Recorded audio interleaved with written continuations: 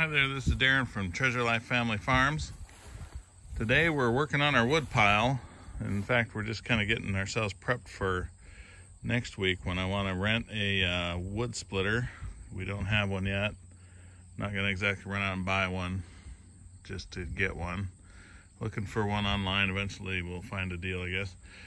Uh, we're cutting with a Stihl MS271 Farm Boss. It's got a 20 inch bar, 271.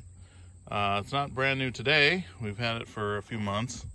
We sawed uh, some trees down in the spring, sawed them up and got rid of them. This wood pile uh, is largely really ready to split, but then we've got some that are like this that are just too long. They need cut in half. And then we've got a small number of these giants down here. This thing is probably 700 pounds, I don't know.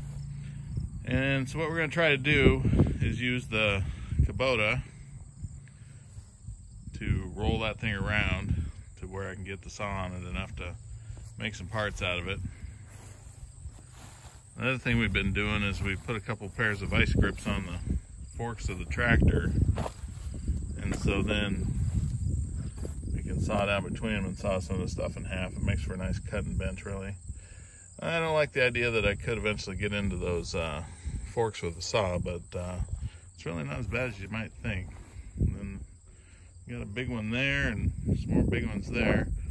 We won't get them all sawed up today, but uh, we'll get quite a few of them. And then when we get the splitter rented, then uh, we should be able to uh, get after most of this stuff and then uh, we'll have to saw a few of them up next week when we're when we're splitting. So uh, we're gonna get you a little video of this saw cutting. It's uh, quite impressive. I grew up, my grandpa had a bunch of, oh man, now I forgot the brand. Uh, there was uh, Sears, I guess, chainsaws, and that's all we knew. And, and then I ran a Stihl one day and thought, wow, I just had no clue what a chainsaw really is. And so when it was time to buy one, we went for uh, this. It's been a really good saw so far. So there's the kind of the beginning of it. We'll get you some more video of it uh, sawing.